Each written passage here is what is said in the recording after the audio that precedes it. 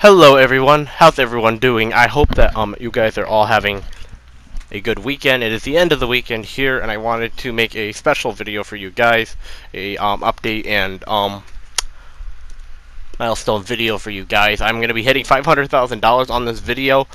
Now first I wanted to talk about something that I think people may have been noticing on my channel. I haven't been doing a lot of GTA recently, and it's not because I, I don't want to. It's because the game at this point, it, it there's not much for me really to do on the game anymore. You know, being that I've got you know 1.6 billion in, in my rank, and I have almost everything in the in the game. There's really not anything for me to do anymore. That's why I've been playing Red Dead a lot lately. That's what I do in my spare time when I'm not streaming.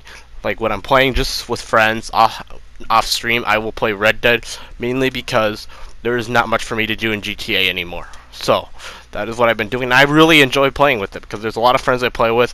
You know, not only just from the collecting, because I have other friends I play with, like for trader and other things, doing daily stuff like that. It's really fun and really enjoyable. So, and I and I really enjoy doing it every day. So.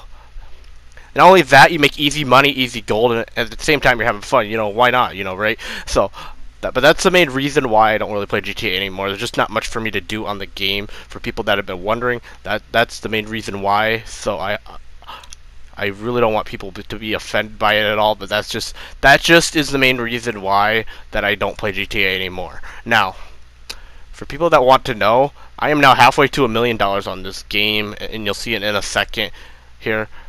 Um, and my goal is a million dollars by the end of the year. I still think that is possible. You know, even if we haven't updated, I still see it possible because just of how good the collector is. Unless it's a serious, serious nerf, then maybe it's not. But other than that, I really see this happening. Um, but I want to thank everyone for their support of this channel. If it wasn't for you guys, I would not be here. Now on this one, I was just doing a trader sale. Um, this is how I got to half a million dollars. I just was helping a friend with a trader sale here. And if you guys saw in the beginning, they there was there was a few griefers that were trying to um, steal the goods. Yeah, it happens every so often.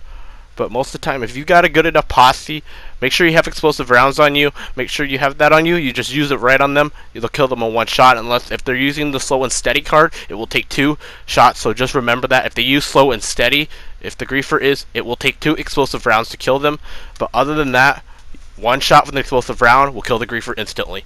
So right here we made the sale successfully. We successfully sold the goods here. So the griefers failed on their part. Um, so you guys failed on your part.